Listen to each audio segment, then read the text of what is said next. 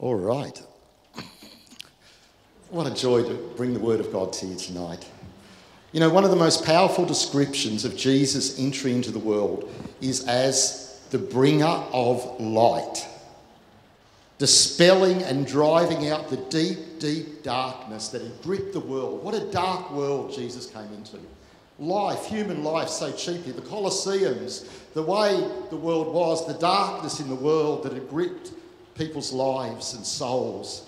And that's why John the Baptist's father, Zechariah, gave this prophecy about the child who was soon to be born. He declared, Because of the tender mercy of our God, whereby the day spring from on high shall visit us.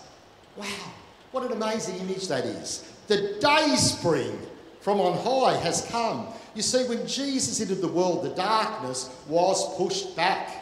The light has arrived. And Matthew, the writer of the first gospel, reminds us that Jesus' coming would fulfill the ancient prophecy spoken by Isaiah, who said, The people walking in darkness have seen a great light.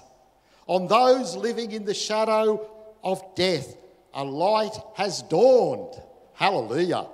And Jesus coming into the world marvelously fulfilled that prophecy of Isaiah. And that's why in the book of Revelation, his work and his very being are described in this way I am the root and offspring of David, the bright and morning star, he says. You know, that, this image of us moving from the kingdom of darkness into the kingdom of light is at the very heart of the gospel. It is what salvation is really all about. Paul says this For he has rescued us from the kingdom of darkness and transferred us into the kingdom of his own dear Son. Hallelujah. Peter declares, But you are a chosen people, a royal priesthood, a holy nation, God's special possession, that you may declare the praises of him who called you out of darkness into his wonderful light. Wow.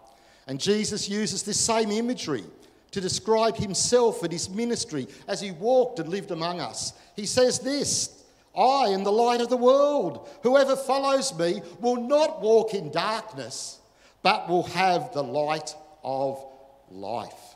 Amen.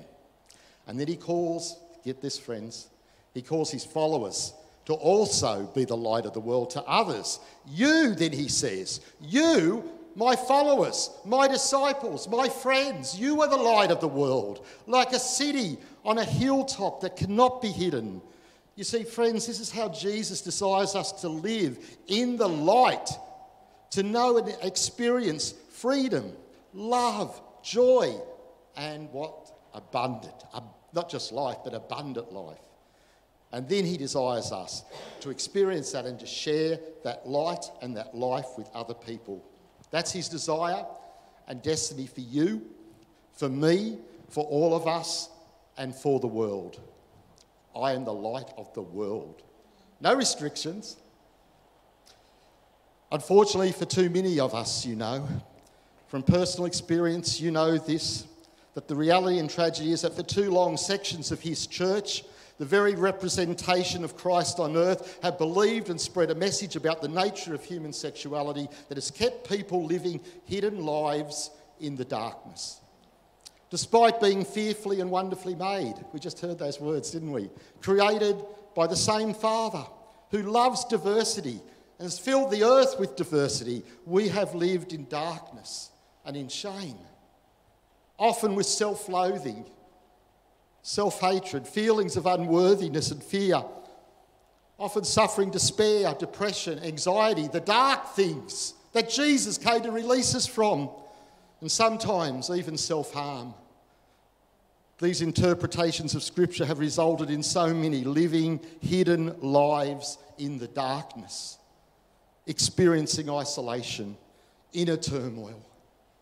And this message from the church that a person's deepest inclination to love someone of the same sex is somehow sinful or perverted or broken has also kept many people from serving Jesus and his church with the beautiful gifts that they've been given and tragically prevented them through man made rules and judgment and exclusion from being the light to others. See, it's not them just suffer. What is robbed is their opportunity to be the light to others. Brothers and sisters, this experience is the very opposite of the light life of light and freedom that Jesus came in the world to give us. That is at the very heart of his message. This message is the opposite of what Jesus shared and lived every day dispelling the darkness, setting people free, making love the supreme command, the new measure for the way that we live and interact with God and each other. That's the measure now, not the rules. Love is the measure.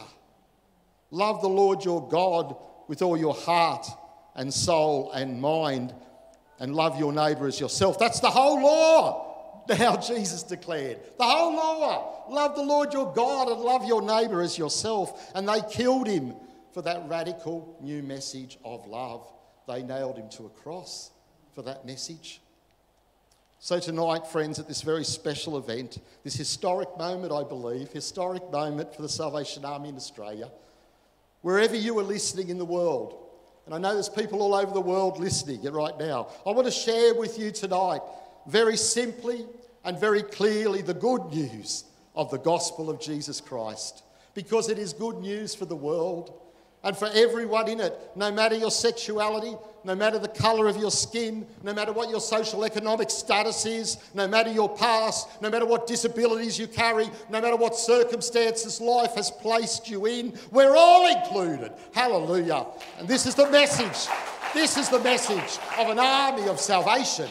The whole world redeeming. So rich and so free, our founder declared. And I want to share this life giving message with you tonight by looking at the context and the circumstances of potentially the most beautiful and inclusive and significant words that Jesus ever spoke. Now, most of you know it by heart. I'd say it would be perhaps the most used and loved verses in Scripture. The first verse that I think I learnt to recite from memory as a junior soldier John 3 16 and 17. For God so loved the world that he gave his one and only Son, that everyone who believes in him shall not perish but have eternal life. For God did not send his Son into the world to condemn the world, but to save the world through him. Amen. Well, the church loves these words, doesn't it?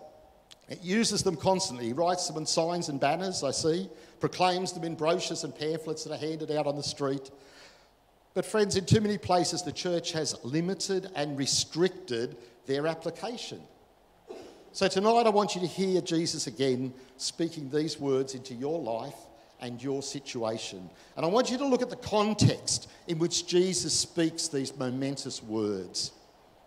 Now, remember that John, the gospel writer, who shares this story and this encounter and these words with us, describes how Jesus was meeting in the middle of the night, in the darkness, with Nicodemus, a man whose understanding of God had influenced every aspect of his life and actions. Now, remember, Nicodemus wasn't just a believer in Jehovah and the Torah. He had signed up to become a strict Pharisee, a devoted religious teacher and leader committed to keeping and enforcing every Jewish religious rule. And the setting of night and darkness in which they meet matched the darkness that Nicodemus must have sensed was in his own soul. You see, despite his position, despite his strict observance of the law, to come to Jesus that night in this way, Nicodemus must have said somewhere deep down in his soul, that he'd got it all wrong. That the legalism, the ideas that he'd devoted his life to, was not the complete answer, that he'd missed something important. And Nicodemus is so afraid and so embarrassed to admit this that he comes to Jesus when? In the dead of night, when the crowds are gone. So no one knows that deep down he's harbouring these doubts and fears. You see, even though outwardly Nicodemus proclaimed to have the light, the rules and burden of a system he is part of means he's hiding in the darkness, like so many of us have been. And Jesus that night has this amazing conversation with Nicodemus about change. Or we could read John 3 tonight. and would thrill you. You must be born again, he says to Nicodemus. You must receive a new heart, Nicodemus, a new attitude. You must get a new understanding of God and who He really is. And then he says, The Spirit's at work in the world. The Spirit's going to be present to help you make it possible. He's moving in new ways in the world, he says. You can't tell where he is. You think you've got it all worked out, he says, but he's at work in new ways in the world. Oh, Nicodemus must have been, you know, like staggered. What fear and anxiety these words must have struck in Nicodemus's heart. How, at this stage of his life, could he start again? do things differently, believe a different doctrine. Oh, and then, hear this. In the middle of this very deep theological conversation about change and who God really is, Jesus says this to Nicodemus. And I wonder whether he reached out and looked him in the eyes and put his hand on his shoulder but he says to Nicodemus the words that have probably become the most well known and loved in the Bible. He says, Nicodemus, for God so loved the world that he sent his one and only Son. For God didn't send the world, his Son, to condemn the world, but to save it. Oh, you see, Jesus was saying to Nicodemus as he struggled with all these new ideas and all that it would mean for him personally for the rest of his life, he was saying to him, I love you, Nicodemus. I'm God. I love you. I've come into this world for you, Nicodemus. And friends, he says those same words to you and me again tonight. To all who live in darkness and all who need the light of God and salvation, that's what he says to you tonight. Oh, some of us have heard him repeat those words in the darkest moments of our life, haven't we? When we battled with a false doctrine that said we weren't acceptable to him, that we were perverted, that we were broken, that we needed to be fixed. Some of us have heard his gentle voice, just like Nicodemus did that night, saying to us, I love you. I created you as you are. You are fearfully and wonderfully made. I am with you. Captain Chris Halliday, won't mind me saying this, recently shared his personal story on Major Bryce Davies' Stories of Hope's podcast. I hope you listen to it If you haven't listened to it, go and listen to it. I spent most of my time in tears listening to it, but after experiencing multiple rejections by our army, despite his strong call to officership and ministry, by man made rules and exclusion, and being told by one senior officer, someone like you will never be a Salvation Army officer. He tells in his own words how, after spending a long period in dark places, with strong voices telling him to give his faith away.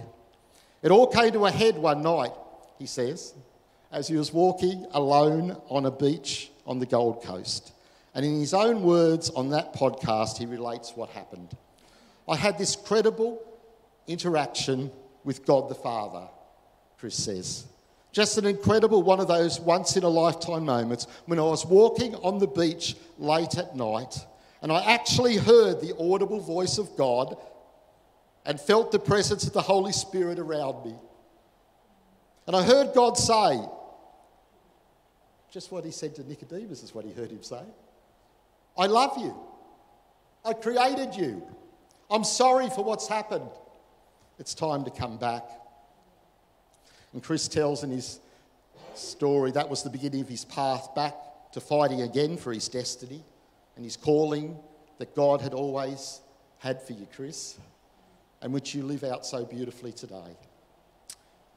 Friends, after decades of living a lie, living in darkness, trying to change the person God had made me to be time and time and time and time again through prayer, therapy, exorcism, all manner of conversion treatments and practices, both here in Australia and overseas, without success after my marriage was finally irreparably broken and over.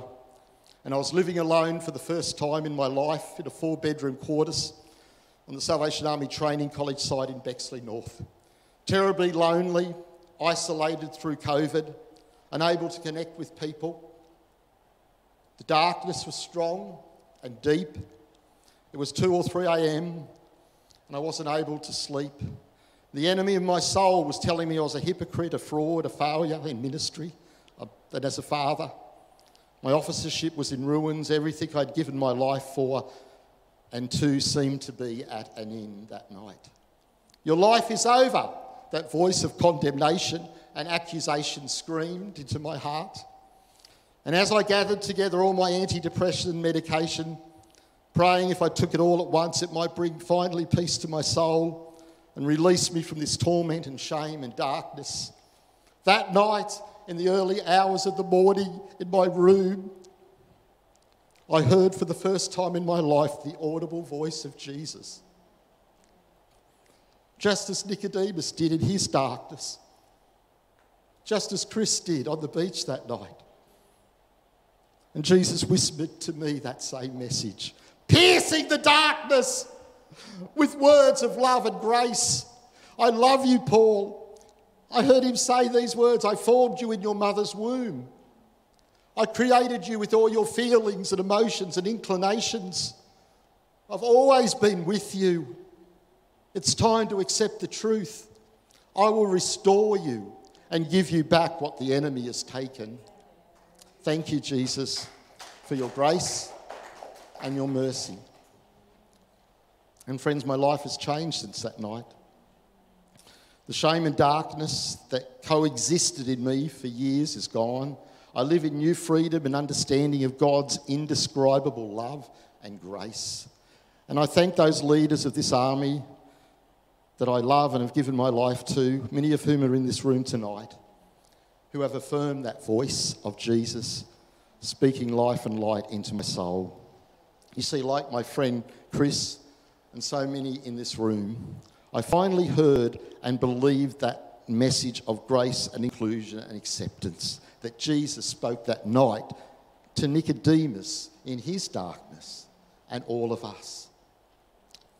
But, friends, I say this to you I grieve for those for whom the darkness is so powerful the messages are so internalized and deep in our souls. The enemy's so strong in his condemnation that they can't hear the words and voice of Jesus like I did, like Chris did.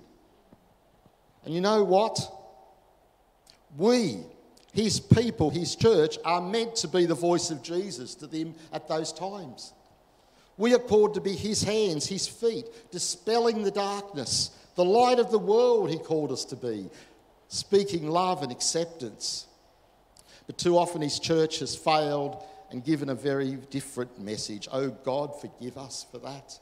And renew our army and recall us to this Nicodemus message of light and hope and unlimited grace and boundless love for all. Oh, I think of all the young people who've heard a different gospel, a different message, that has sent many into the darkness, that has driven many away from the church, and even cost some their lives. That was my experience as a young man growing up in this army, wrestling with what I was taught was a perverted and unacceptable way of living or being. And those messages have kept part of me living in hiding and in darkness all these years and caused hurt to so many of those I loved the most.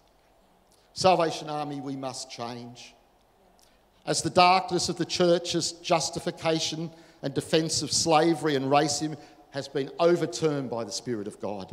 And the darkness of keeping women in subordinate roles that prevented them from using their amazing gifts in leadership to grow his kingdom of light. As this too has been exposed as a lie of the enemy, so too the day has come when his church, led by his Spirit, must overcome this darkness also and create a place for freedom and light for all God's children, regardless of who they love and want to serve with and be united to. We have to do it. There's another generation of Chris and Paul's and others for whom this issue is real right now. They are living it right now. We cannot delay. I follow Salvation Army office, former Salvation Army officer and leader Chick Yuill's posts on Facebook who incidentally has a lot of prophetic words to say to us on this issue. And tomorrow uh, we'll be looking at some of his contributions, and you'll be blessed by that. He currently works as a radio presenter in the UK, and he has a show called Faith, Hope and Love. Now, recently, if you follow him on Facebook, the topic of his radio program was the experience of an Anglican church in the UK that embarked on a journey of being an intentionally inclusive church after the church faced a tragedy when a young woman who was part of their congregation took her own life because she was gay and couldn't tell anyone.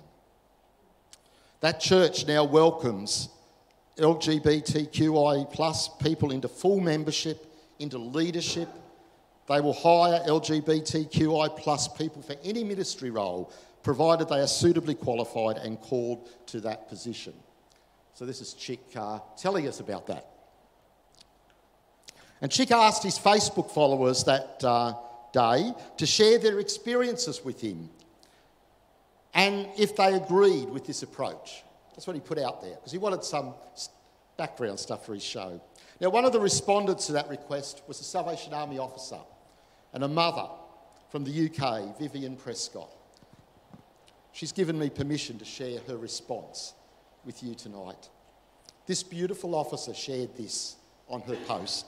My youngest son is gay, raised in a Christian home and actively part of the church. He had heard all the traditional teaching.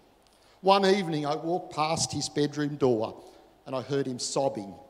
He was about 16 at the time I walked in to find him on his knees on the floor, praying and begging, begging God to take his gayness away. It was unbearable to see. I got on the floor with him while he cried out to God. I silently prayed for God to come close, for God to show my boy who he was in his eyes, how beautiful he is and acceptable just as God made him to be. Why would a loving father ignore the cries of one of his children? I don't believe he would, not the loving, perfect God I worship.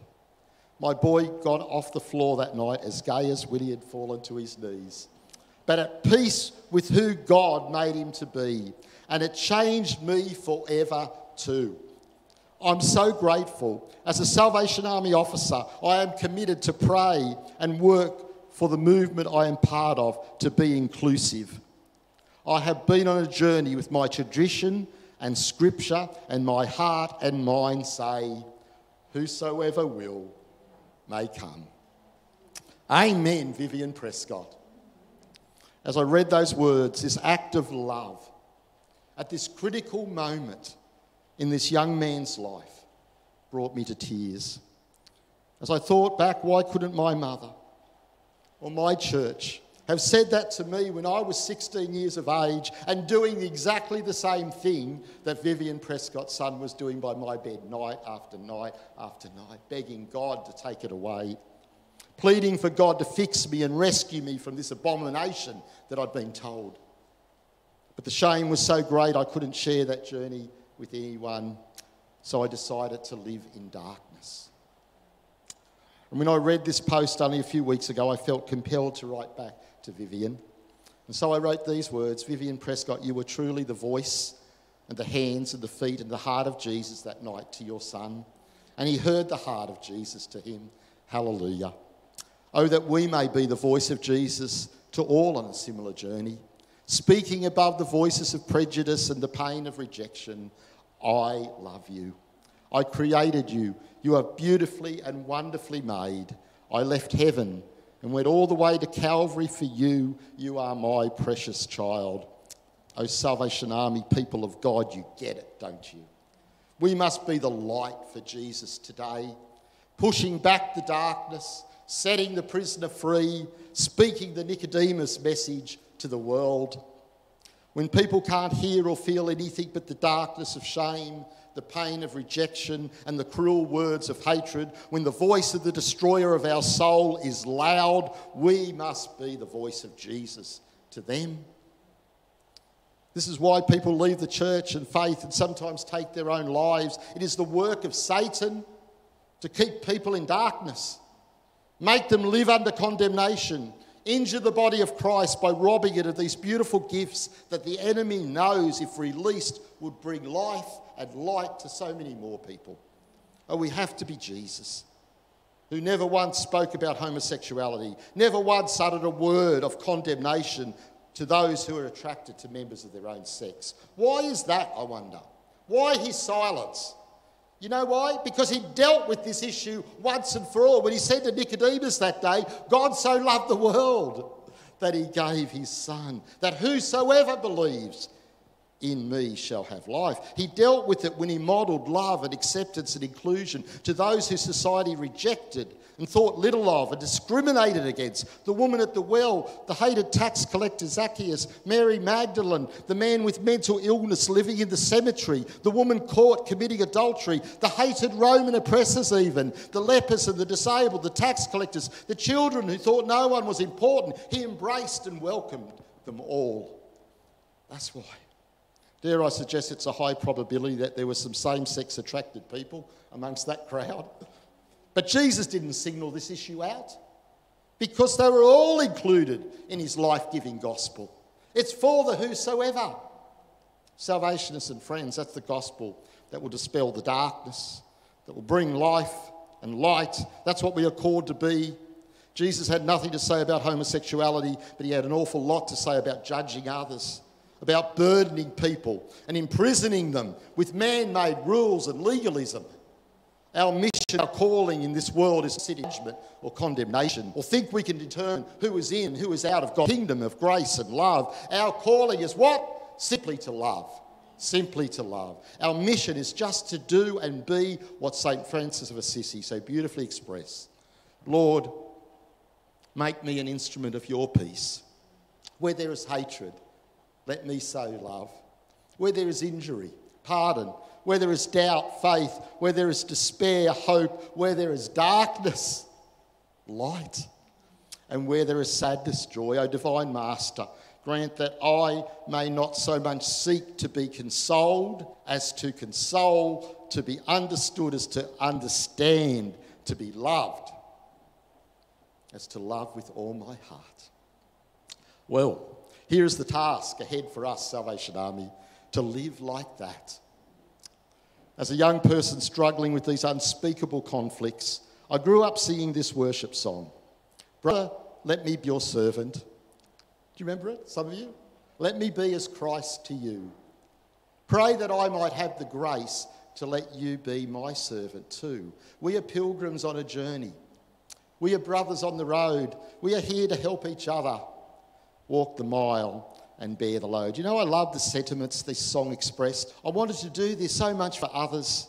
And eventually I gave my life to that great purpose, like Scott did, like Chris did. It captures your heart, that sort of vision, doesn't it? Being that in our world. But even though I sang these words, I failed to realise that I desperately needed someone to do this for me too. I now know what that song really represents because when I was 60 years of age, last year.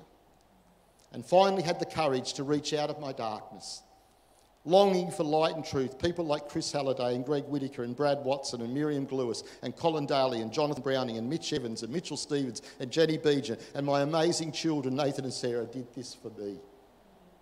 Were this to me. Were Jesus to me. I understand these words and I sing them differently now because that's what I needed myself. And now that's what I want to do for others. For the rest of my life, I will hold the Christ light for you.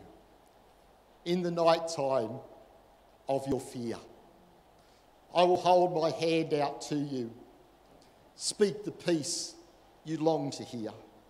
I will weep when you are weeping when you laugh, I'll laugh with you. I will share your joy and sorrow till we've seen this journey through. Brother, let me be, sister, gender, gender fluid, whatever. Let me be your servant. Let me be as Christ to you. Pray that I might have the grace to let you be my servant too when I'm broken, when I'm in darkness, when I need that voice of Jesus. Oh, that's what inclusion looks like never judging, simply serving each other in love. Well, can I say to you, I have experienced that in these last few months. And I promise you tonight, it casts out doubt, darkness, it casts out fear, and it floods your soul with light and peace. Friends, Commissioner John Gowans, one of my heroes, used to say, We are all called to be little Christ. Remember his sermons about that? We are called to be little Christ. Oh, that's what will change our army in the world. So, tonight, as I conclude, there are two invitations I make for the army and to you who are attending this forum, whether you're here in the room or sitting somewhere in another part of the world or in your home, two invitations. To those here or listening online who haven't heard the voice of Jesus, telling you how much you are loved and valued by your Maker, just as you are, then hear it tonight, please. He loves you. He left heaven and he entered our world and became the suffering servant, just like us. So you would know how much you are loved and how much you are valued. So you would know how deeply he understands our human condition. He understands our struggles. He's walked the human road. He's the Christ of the human road. He longs for you tonight to move out of the darkness into his glorious light. If you've never heard that message, if you've never received his grace and salvation tonight before, friends, hear it tonight. You are intensely loved. And tonight we want to pray words of light and words of life over you. Oh, friends, let me say, how many times have I come to this mercy seat? This place of prayer in all Salvation Army halls around the world, based on a teaching that I needed to plead with God at that place to miraculously cure me, to seek forgiveness for my horrible thoughts and my horrible feelings, when all I really needed was someone to come alongside me and tell me I was loved and valued just as I was. So tonight there is an invitation just to receive his beautiful gift of love and mercy and salvation, a costly gift, but a beautiful gift. To encounter for yourself amazing grace, to have someone pray these words of life over you. For God so loved the world that he gave his one and only Son for you. So you come tonight. The Holy Spirit is gently touching your heart, drawing to you to your Saviour.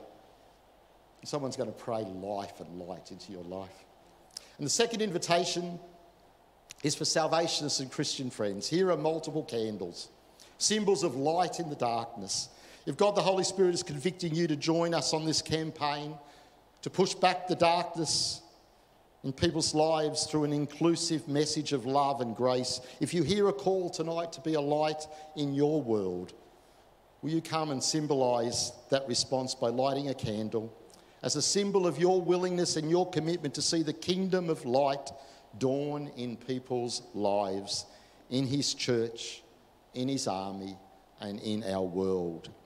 You know, I believe that one day, very soon, all these individuals, candles, and lights are going to merge into a powerful, unstoppable, cleansing, burning flame. You like that? Cleansing.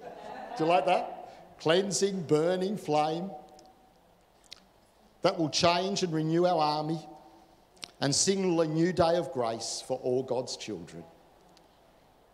Will you light and add your small flame tonight?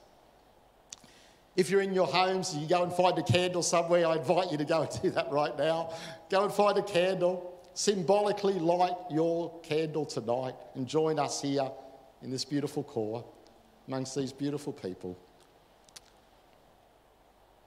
Together, salvationists, followers of Jesus, let's push back the darkness.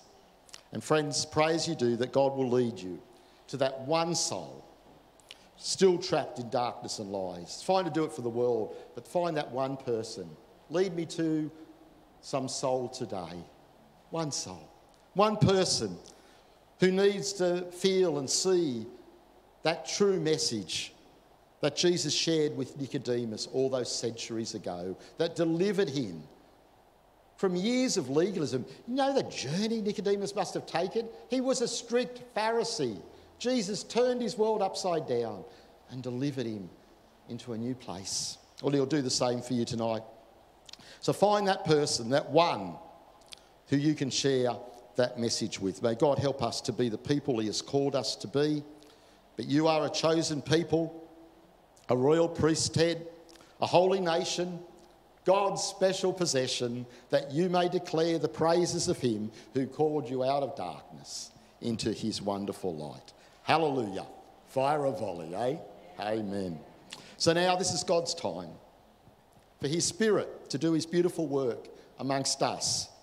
You come and pray at the mercy seat if you need to, and we'll pray with you and speak life and light into your life. Or come and light a candle, but be obedient to his leading and his loving voice, I pray. As you respond to the Holy Spirit's work tonight, we're going to listen to some beautiful words that summarise and really reinforce everything I have said tonight. I chose and I love this song because it recognises that sometimes the truth is it takes a while for this message of grace and inclusion to penetrate the deep darkness.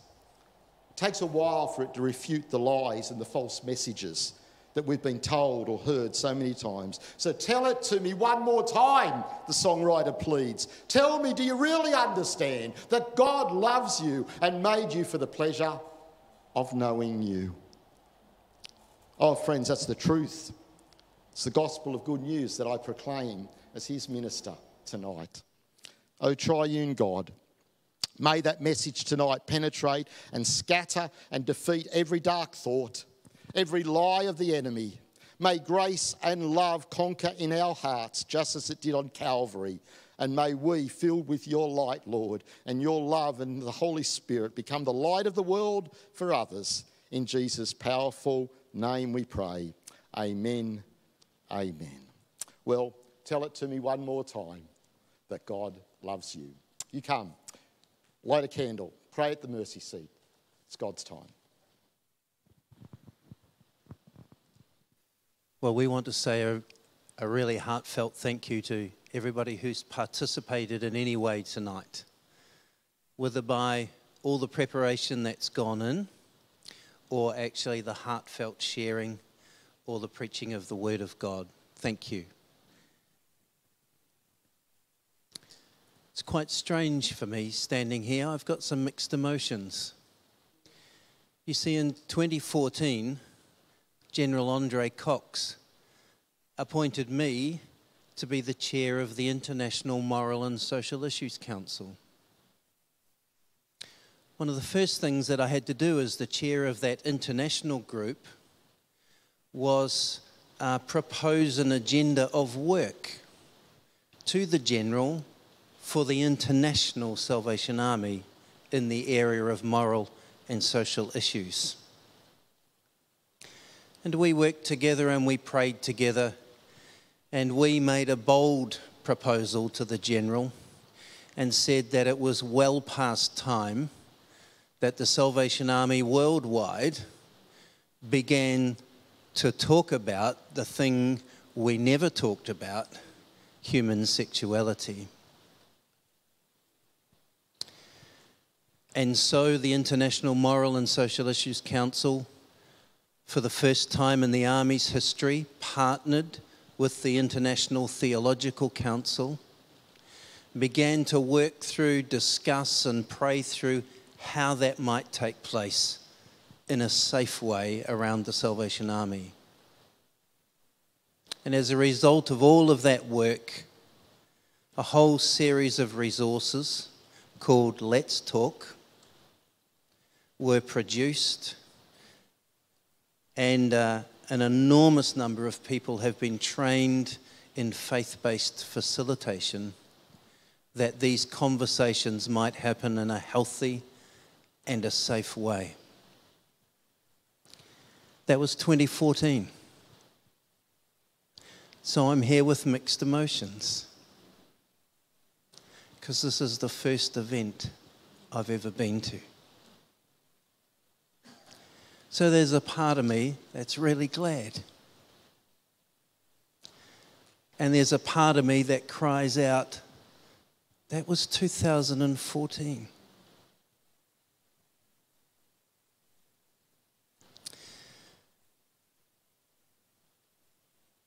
But you know, I'm one of those persona non grata people these days, you know. I'm a white, male, straight, married, 60 years of age, and in a leadership position. I'm one of them. Sorry about that. Well, I'm not sorry, I'm married.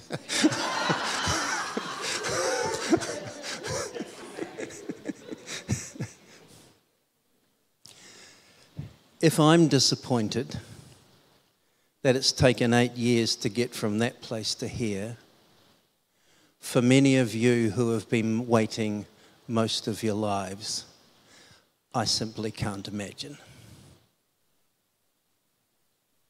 Welcome.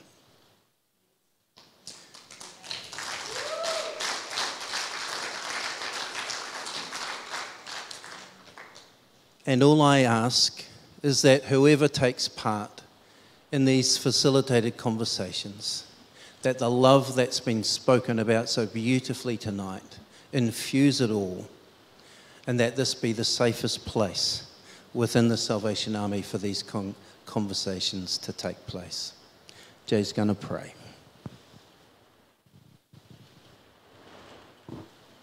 Just been wonderful to be with you. Let's join together in prayer.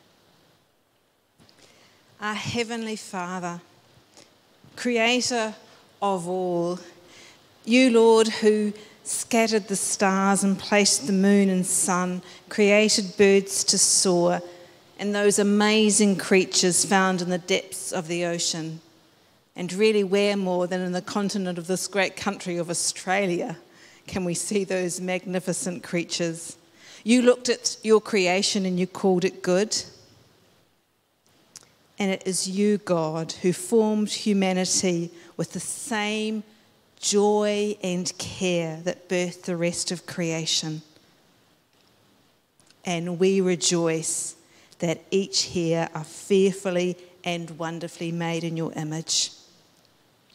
We affirm here tonight that all people are endowed with inherent dignity and worth and that we are called to treat each other in ways that honour and value that worth. Lord, we acknowledge our humanness in wanting to give labels to each other. But you, Lord, called us beloved. Remind us to say this repeatedly until we believe it. We are beloved we are beloved. And Father God, we are called to resist all forms of injustice. And we acknowledge with great grief that often the lives and rights and freedom of people has not been valued in our communities and our society. Guide, Lord, we pray, the Salvation Army toward an enduring justice. Give us the courage to reconcile with those who have been harmed by us. And we ask your blessing as we seek to do our part in this world to free people from injustice, violence, and discrimination. We are all of us called by love for the sake of love to be love wherever we are and in all the world. Continue to create us to be your beloved people. Amen.